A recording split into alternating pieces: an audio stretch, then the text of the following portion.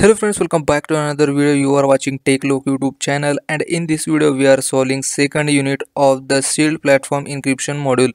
Let's get with the new video. To solve the challenge we need to select a new playground that's why select new playground and click on the launch button. After that we need to solve the some uh, prerequisites assignments that is uh, assign permission and uh, another one is uh, create a tenant secret. For that uh, first of all we need to assign permissions Let's click on the gear icon here and open the setup option. And here we have successfully opened our org that is setup org. After that here is a quick find box. Just search for the permission sets. And after that click on permission sets. Here we need to create a new permission sets for the users and the name is a key manager. Now go back into our org and click on the new button. After that paste our copy name that is key manager and uh, API automatically selected by the system.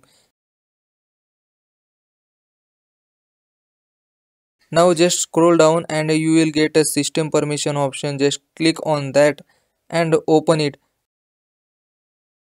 After that opening, click on the edit button. Here we need to select uh, two checkboxes just scroll down and in the C list here you can see C options. From C options we need to select a customize application. Just check the checkbox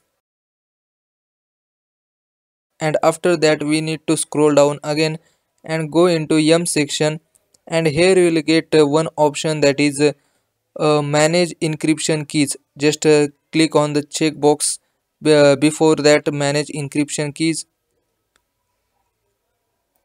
here you can see uh, we have successfully checked all the checkboxes. Now just click on the save button. After saving you will get a one message and uh, for after getting that message just click on the save button again. And here you can see we have successfully get that message and click on the save button. Now we need to assign our permission sets to users. For that just uh, find for the users into quick find box and after that open the users.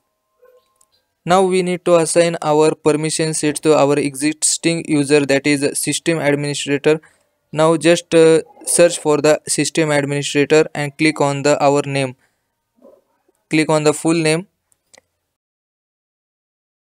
After opening the user just scroll down. And here we will get permission set assignments option. Just click on the edit assignments. Here basically we need to assign our permission set that uh, key manager permission set. For that uh, here is a button edit assignment just click on that. And now uh, from the list uh, just select for the key manager. That is here you can see key manager and click on the add button. After that here is a save button. Just click on the save button. And we have successfully assigned our permission set to user. After that we need to generate a tenant secret key. For that we need to search for the platform encryption in the quick find box. So copy that text and go back into our org. And here is a quick find box. Just paste our platform encryption text and from that uh, select for the key management. Now click on the generate tenant secret option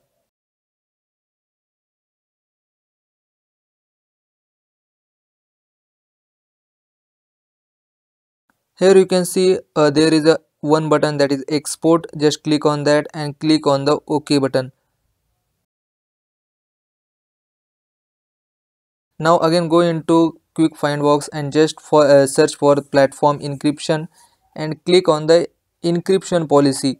Now you will get a encryption policy. After that here is a small link that is uh, encrypt fields. Just click on that link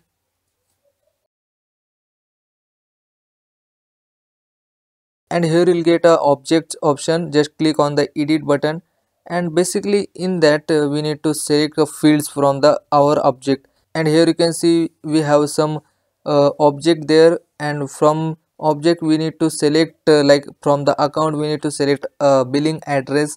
And after that uh, from the contact we need to select a name. Just uh, go into again our org. And here you can see in the contact object there is a name field just check the check boxes. And after that in uh, case here you can see case. We need to select for the subject.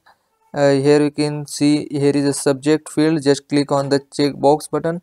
And after selecting all the checkboxes just here is a save button. Just click on that save button. Now we have successfully completed our challenge. Just check our challenge for that just click on the check challenge button and uh, if you are new on the channel please try to subscribe channel because here we will get 100% solution of the latest trailhead modules. For the next challenge just go into description you will get the next video link. Thanks for watching